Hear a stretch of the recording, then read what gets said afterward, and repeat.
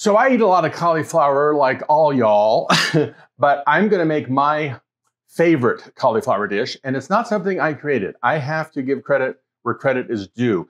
This dish, um, my interpretation of it, but this dish was first experienced by my wife and I when we were in Indianapolis in 2019, and we went to this restaurant called Bluebeard. And it was so damn good. We went back two nights in a row. Um, just phenomenal food. The chef, I have to say, her name is Abbi Merriss. She's the one that started it. I have to let her know and let you all know that if you're ever there, you have got to go to this restaurant. She is absolutely brilliant. Some of the most incredible food I've ever had. Everything that was served came with emotion. I mean, it, you know, it was perfectly done. Everything was just, you know, technically proficient, everything else. But this is what I'm always talking about. You could taste her in the food. That's what kicked it up to another level. So when I sat there and I had this cauliflower dish, I immediately was transported back to when I was a child and uh, New Year's Eves with this dish that we used to have in the family to celebrate New Year's.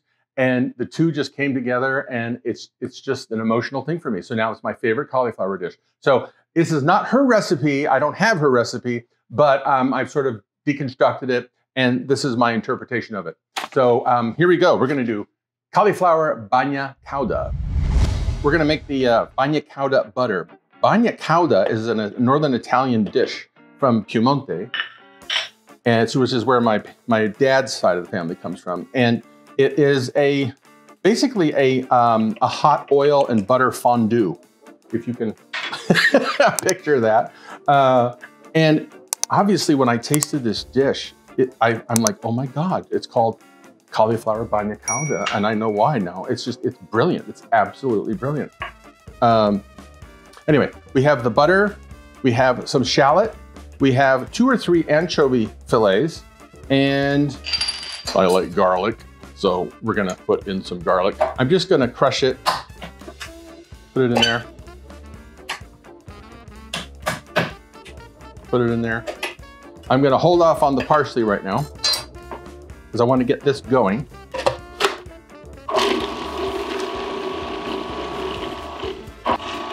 And you want to make sure that you get this as smooth as possible. You don't want really big chunks of anchovy or garlic or shallot. You want it to get as fine as possible in there. So take your time pureeing it.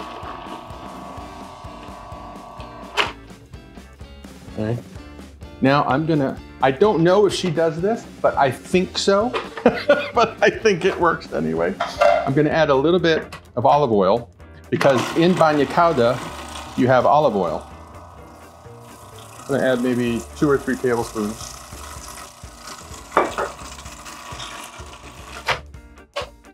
It'll help loosen it up as well. Okay. Now we've got anchovy in there, but I'm still gonna put a little bit of salt okay?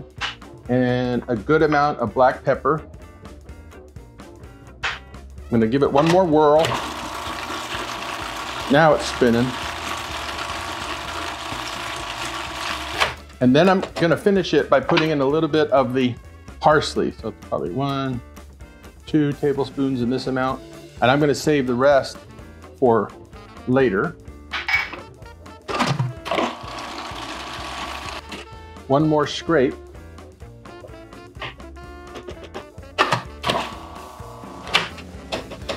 And we're done.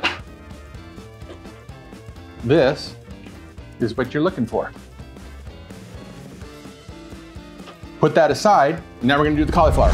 So here I have one uh, head of cauliflower. And sometimes when you buy a head of cauliflower, you get these little, you know, you'll have these little black spots on it. So don't worry about that. Just kind of get a little paring knife and scrape them off.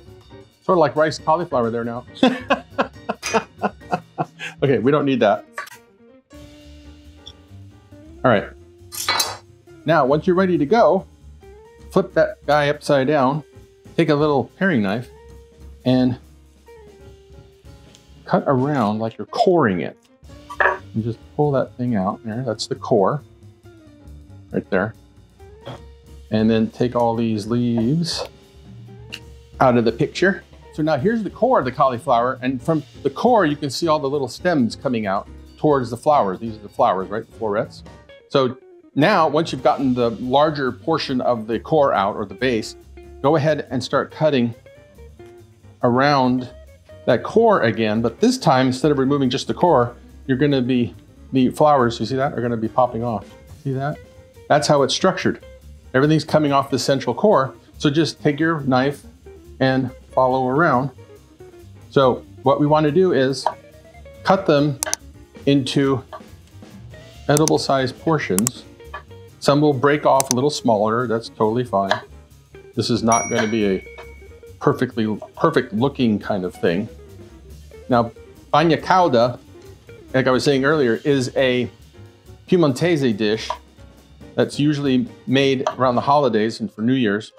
And it's a hot bath, bagna, meaning bath, cauda meaning hot. There's, there's one head of cauliflower, okay? I have a roasting pan, or I should say um, a sheet pan in the oven that I've been preheating at 450 degrees.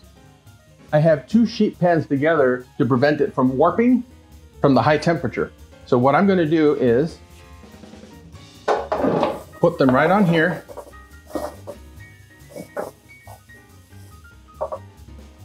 And sprinkle, or I should say drizzle, with some oil. You hear that already?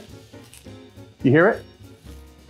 It's already starting to sizzle because it's so hot. Some salt, pepper, and then I'm just going to spread it out And the more spread out it is, the browner they'll get because you get air circulation. See, it's already sizzle. Your food talks to you. Stick that in the oven and let her rip until she's nice and brown.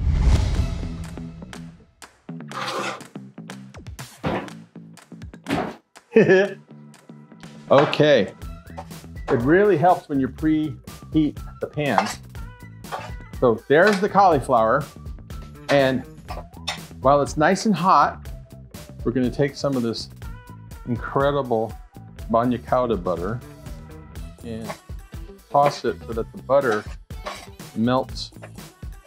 Now the butter's melted, I'm gonna go ahead and finish it with some capers, some sultanas or golden raisins, some toasted hazelnuts. You can use pine nuts if you want, but the hazelnuts go, go really well. I like to put a little bit of parsley, mint, that's the kicker. Cold mint, just like kind of do that type of thing. Isn't that pretty already? Just like that. Look at that. Look at those colors. You've got sweet, you've got salt, you got that nice creamy richness from the butter. This makes an amazing side dish. It also makes a really nice appetizer or starter. It makes a great entree while the butter needs to melt if it's cold, right? So that's why you want it at room temperature. Just a little bit of Parmesan. Now you can do um, shavings of Parmesan or you can do grated Parmesan. And that's it. Does that look good or does that look good? And actually quite, um, quite, quite tasty. Okay, I already know what this is gonna taste like, but I gotta taste it again because I just love this dish. If you're in Indianapolis and you wanna get some great food, Go to Bluebeard and see Chef Abbi. She is just all that in a bag of chips, I gotta tell you. Um, please write in. Um, you can download the recipe, like, because I like you. Uh, subscribe, and um, definitely share, because look at this. She's in Indianapolis making stuff over there at a restaurant. It had such an impact at me. I'm now making it out here in California, and I'm sharing with everybody else I know. That's what it's all about. Yum is good.